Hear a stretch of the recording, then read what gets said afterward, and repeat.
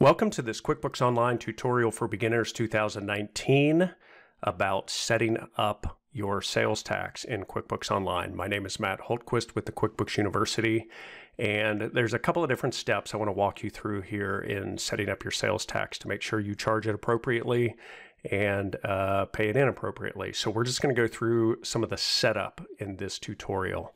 All right, so the first thing is we're using a sample company file.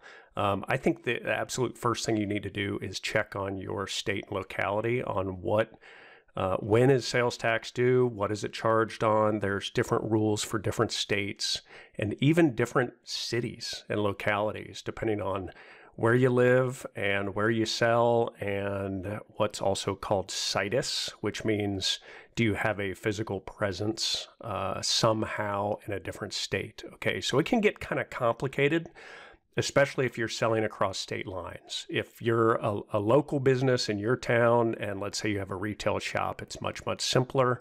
But if you have an online business and you're selling across state lines, or even a, a, a brick and mortar shop and you sell across state lines, it can get a little bit more complicated.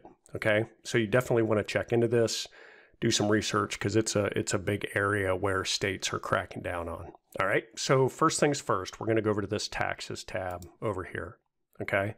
So this sample company file already has some things set up in here, but I want to show you here edit sales tax settings. If we click on this, you're going to see here, do you charge sales tax? Yes. Default sales tax in this case is California. Okay. So you can change this after you uh, set up some tax rates and agencies. So we're going to default to mark all new customers taxable and mark all new products and services taxable. Okay, you can change this, of course. So we click Save.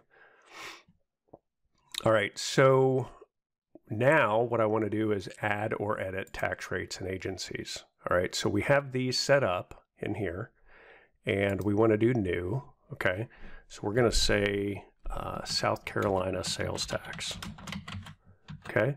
Agency name, Department of Revenue. Okay. And then we're going to say 6%. Okay. So now we have a new agency and a new tax rate set up. So we're going to go back to our uh, sales tax center all right, so the next thing we want to do is we want to go over to our products and services list under the gear icon. All right, so sales tax and QuickBooks, you know, essentially you set up the sales tax rates and the agencies. Then you specify which products and services have sales tax uh, associated with them so that when you invoice, QuickBooks knows that this item should be taxed or should not be taxed. And again, this is where it's very important to check on your state or your locality to figure out what has tax and what doesn't have tax. Okay, so you can see here a column under our products and services that says taxable. When it's got the check mark, that means that we have set it as taxable. And when it doesn't have it, it says it is not. All right, so if we go into edit, so I want to edit this design product and service. So again, if you're setting up a new product or service, you're going to specify this. All right. So you'll see down here, there's a checkbox that says is taxable. Now this is just a default. You can always make it taxable on an invoice. Okay. So right now by default, this is not taxable. So if we say is taxable, you can check that box and now on an invoice, it will automatically tax this item. All right. Now these things down here, the sales tax category, um, you by all means can fill this in, but it's not necessary, and neither is the what you sell. Okay, so you can just check this box is taxable. All right, so I'm going to just close out of this uh, because we're not going to change that. So, okay, so this is the second area that's very important. Now, the third one is going to be in your customers. Okay, because to make matters even more complicated, uh, some customers have sales tax and some don't. So, for example, if you're selling something in general uh, to somebody that's going to resell your product. In general, you would have to get something from them that says, hey, this is not, you shouldn't charge me tax, and you wouldn't tax them when you sell it to them. Now, on the other hand, if you are a retail shop and you have a customer in here, uh, they are going to be taxable in general. All right. So you can also specify uh, different customers and whether they are taxable or not. Okay, so if we, for example, go into Amy's Bird Sanctuary and we say edit, you're going to see a tab down here that says tax info. Okay.